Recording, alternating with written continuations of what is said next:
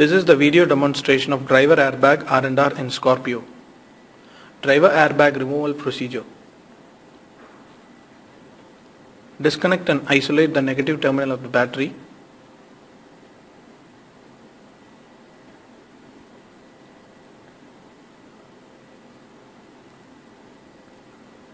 Using an Allen key, unscrew RHDAB mounting bolt.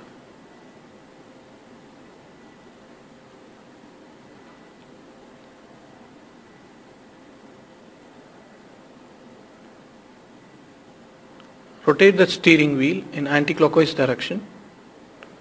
Now use an Allen key and unscrew the LHDAB mounting bolt.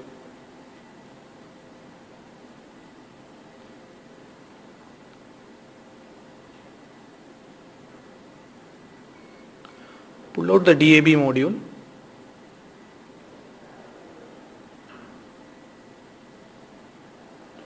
Using a flat screwdriver, lift and unlock the DAB electrical connector lock.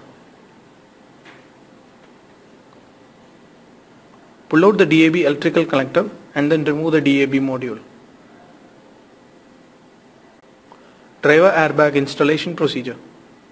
Connect the DAB connector back and then engage the lock by pressing it.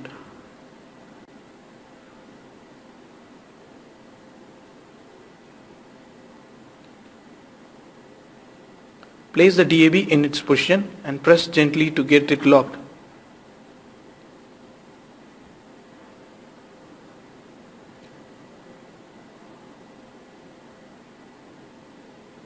Using an Allen key, screw RH DAB mounting bolt. Rotate the steering wheel.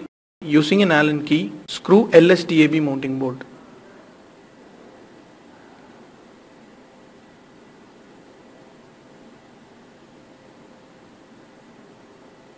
Connect the battery negative terminal back and tighten.